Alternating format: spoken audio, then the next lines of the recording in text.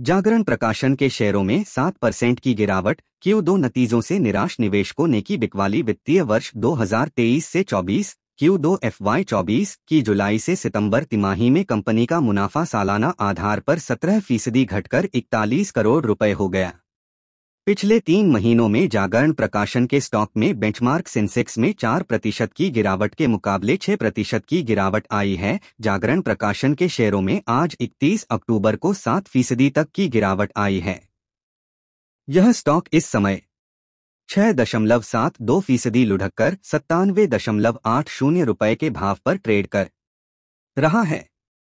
दरअसल मौजूदा वित्त वर्ष की दूसरी तिमाही में कंपनी का प्रदर्शन कमज़ोर रहा, जिसके चलते निवेशकों ने आज बिकवाली की है।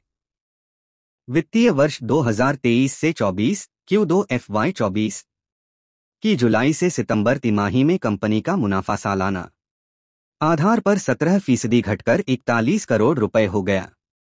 पिछले तीन महीनों में जागरण प्रकाशन के स्टॉक में बेंचमार्क। सेंसेक्स में चार प्रतिशत की गिरावट के मुकाबले छह प्रतिशत की। गिरावट आई है। कैसे रहे तिमाही नतीजे? जागरण प्रकाशन का कॉन्सोलिडेटेड ऑपरेटिंग रेवेन्यू क्यू दो एफ़ वाई चौबीस में सालाना आधार पर एक फ़ीसदी बढ़कर चार सौ अट्ठावन करोड़ रुपए हो गया, जबकि क्यू दो एफ़ वाई तेईस में यह चार सौ चौवन करोड़ रुपए था।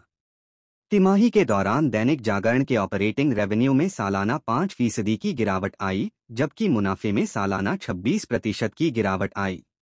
इस बीच अन्य प्रकाशनों का ऑपरेटिंग रेवेन्यू क्यू दो एफ़ वाई चौबीस में सालाना आधार पर छियालीस फ़ीसदी बढ़कर सड़सठ करोड़ रुपए हो गया। डिजिटल सेगमेंट में भी क्यू दो एफ़ वाई चौबीस में अच्छा प्रदर्शन। देखा गया। इसका रेवेन्यू सालाना आधार पर 35 प्रतिशत बढ़कर 27 करोड़ रुपए हो गया। इसके अलावा रेडियो सेगमेंट से ऑपरेटिंग रेवेन्यू क्यू दो एफ़ वाई चौबीस में सालाना आधार पर 8 प्रतिशत बढ़ा। कंपनी का बयान क्यू दो एफ़ वाई चौबीस के प्रदर्शन पर टिप्पणी करते हुए जागरण प्रकाशन के चेयरमैन महेंद्र मोहन गुप्ता ने कहा, रेडियो बिज़नेस, डिजिटल बिज़नेस की ग्रोथ और नई दुनिया के असाधारण प्रदर्शन के कारण चालू तिमाही के दौरान कंपनी के राजस्व में कुछ वृद्धि हुई। उन्होंने कहा कि मुद्रास्फीति में कमी और सरकारी खर्च में बढ़ोतरी के कारण मैनेजमेंट को वित्त वर्ष 2024 की दूसरी छमाही में सुधार की उम्मीद है। उन्हें उम्मीद है कि कीमतों में नरमी के कारण, अखबारी कागज़ की लागत में बचत के साथ साथ राजस्व में बढ़ोतरी के कारण आगे चलकर मुनाफा भी बेहतर होगा।